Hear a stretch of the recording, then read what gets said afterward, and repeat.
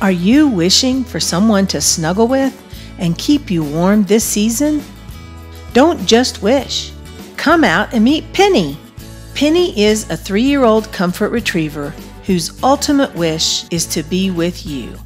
She loves cuddling while watching TV, belly rubs any time of the day, and giving and receiving warm hugs and kisses. If you want your wishes to come true, don't just throw a penny in a fountain. Give me a call and come meet our penny.